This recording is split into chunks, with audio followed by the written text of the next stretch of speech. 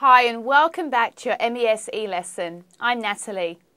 By now, you should be able to answer questions negatively with be past plus adjective fluently. Let's test your progress. There will be 10 questions in total. You will have a few seconds to answer each question.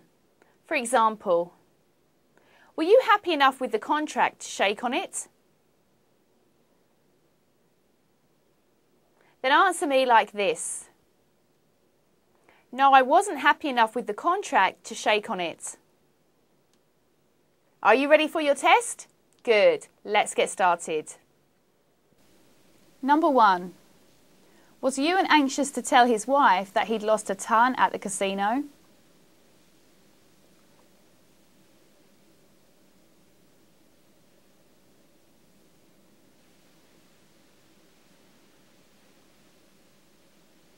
No, he wasn't anxious to tell his wife that he'd lost a ton at the casino.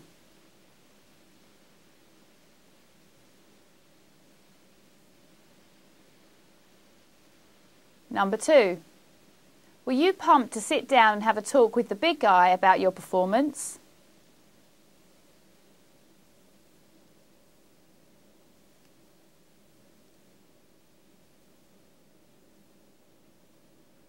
No, I wasn't pumped to sit down and have a talk with the big guy about my performance.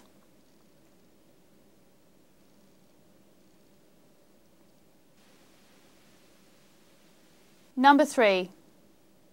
Was Nora trustworthy enough to keep a secret?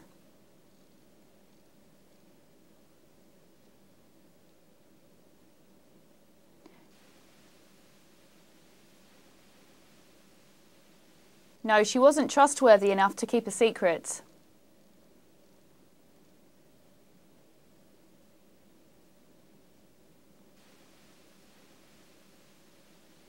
Number four. Was Jason really picky when it came to foreign food?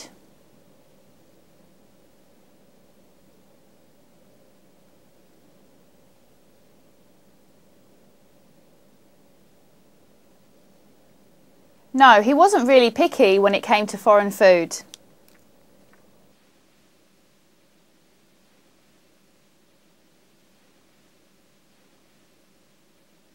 Number five.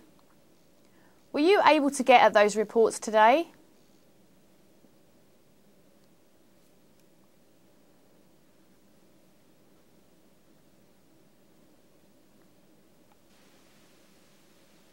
No, I wasn't able to get at those reports today.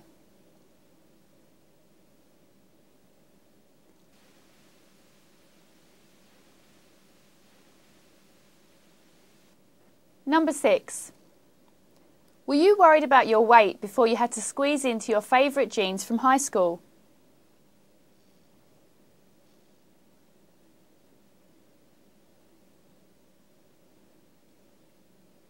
No, I wasn't worried about my weight before I had to squeeze into my favourite jeans from high school.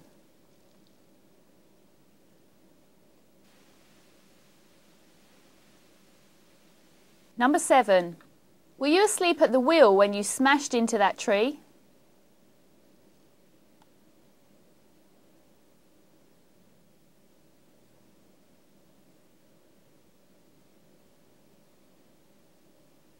No, I wasn't asleep at the wheel when I smashed into that tree.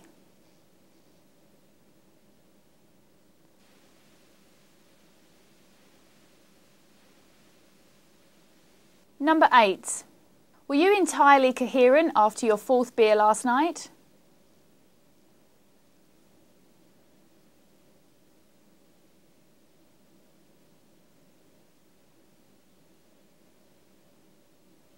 No, I wasn't entirely coherent after my fourth beer last night.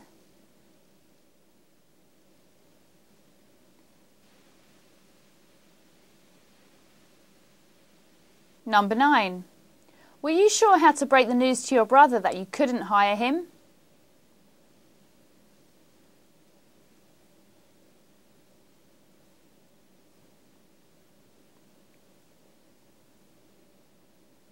No, I wasn't sure how to break the news to my brother that I couldn't hire him.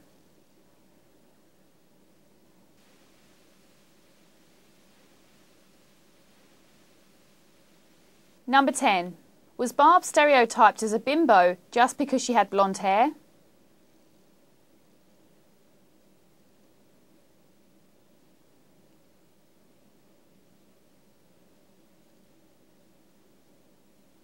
No, she wasn't stereotyped as a bimbo just because she had blonde hair.